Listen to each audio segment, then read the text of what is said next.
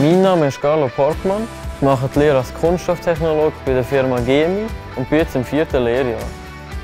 Ich habe mich bei der GEMI beworben, weil sie in der Medizinaltechnik tätig ist und das nicht bei jeder Firma der Fall ist.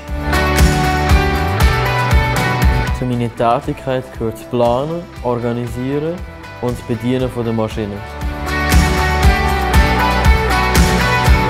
Für den Beruf solltest du flexibel sein, ein gutes räumliches Vorstellungsvermögen haben und logisches Denken mitbringen. In der Firma GEMI stellen wir Kunststoffteile für die Medizinal- und Ventiltechnik her. Das machen wir durch Spritzgussverfahren. Ich habe mich für die Lehre als Kunststofftechnologe entschieden, weil der Beruf vielfältig ist und einem technisch herausfordert. Zu meinen Alltagstätigkeiten gehört das Maschinen bedienen, planen und organisieren. Ich hoffe, euch hat der Einblick gefallen. Wenn es euch interessiert, bewerbt euch doch bitte. Wir würden uns freuen.